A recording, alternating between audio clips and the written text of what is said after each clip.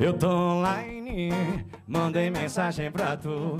Tô só esperando o azul na timeline. Tudo que cê faz eu sei. Essa foto de corpinho com essa frase eu já saquei.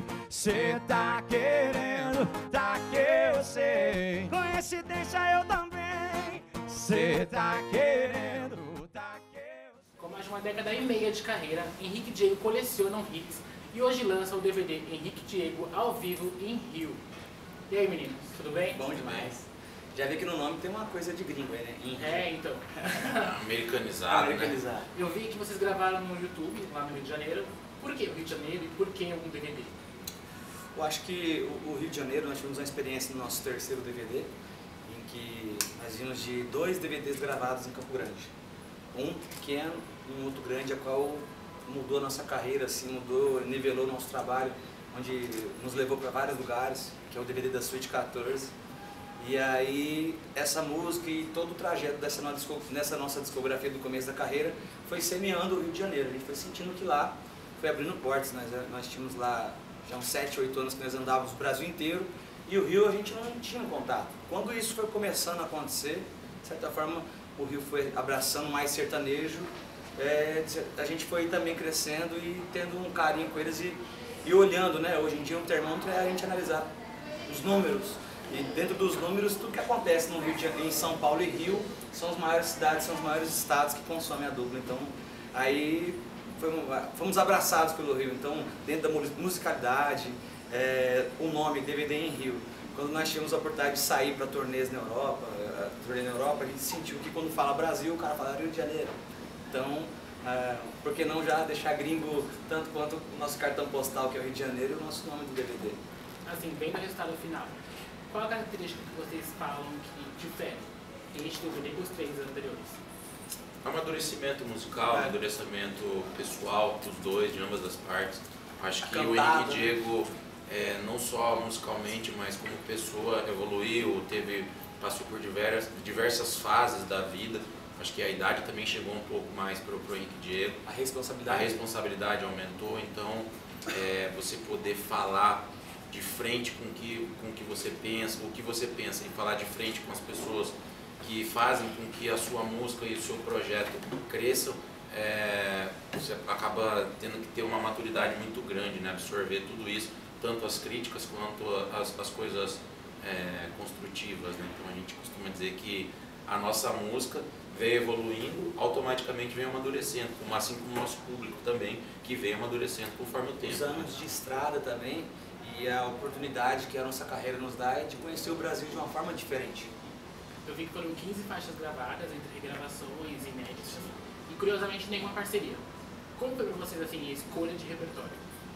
Foi muito tranquilo, acho que foi bem natural, assim, quando nós buscamos é, gravar esse novo projeto, foi bem pensado. Acho que esse amadurecimento musical nosso veio com, conforme o tempo, né? E o tempo veio nos ensinando isso, a ter mais calma, ter mais paciência, correr atrás das coisas, porém com um pouco mais de, de, de um pé atrás, de, um, de, um, de, um, de uma bagagem um pouco mais, mais é, ter uma sensibilidade na escolha das músicas.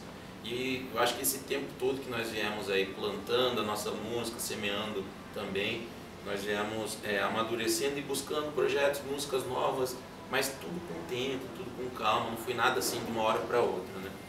E a gente veio buscando isso até chegar nesse resultado, que são essas músicas inéditas com as regravações. Que eu- também. é, o público sentia falta de algumas músicas que nós gravamos lá no passado, que porém não fizeram é, tanto sucesso, e a música que todos nós criávamos uma, uma expectativa muito grande delas, sabe? E a gente resolveu repaginar elas e trazer de uma forma atual, com essa ajuda da internet, hoje em dia com essa evolução da internet, poder dar uma visibilidade para essas músicas que não tiveram oportunidade antigamente. Vocês não pensaram em uma parceria assim, nem em mente, nada. Não, é porque a gente, na hora da seleção do repertório, é, dois meses antes, assim, três meses antes do DVD, acontecer o DVD, a gente estava só pensando em repertório e a gente falou assim, ó, provavelmente por volta de quando estiver faltando um mês para gravar, com a data que nós marcamos, a gente vai ter ideia do repertório e os arranjos prontos, e aí a gente pode ver o que, que tem característico alguém, vamos dizer.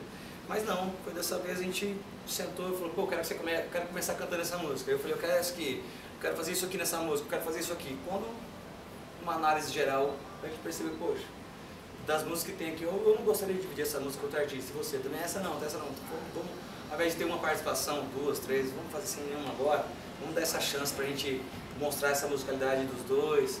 Então, a galera aí vem acompanhar, visite o nosso show, que vai se admirar, vai se divertir muito, e na hora do romantismo vai também se emocionar muito, que Não deixe de curtir o nosso DVD. Esses Já dois aqui disponível em todas as plataformas digitais. não é Gustavo Lima, mas é homem de família.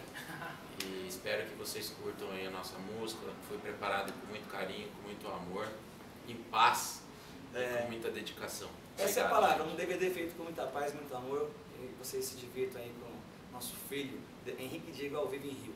Valeu, gente. Um grande abraço. A gente sabe a sua história, hein? Tudo que acontece eu sei. Eu tô online, mandei mensagem pra tu. Tu só esperando ver se ficar na timeline. Tudo que cê faz eu sei. Essa foto de corpinho com essa frase eu já saquei.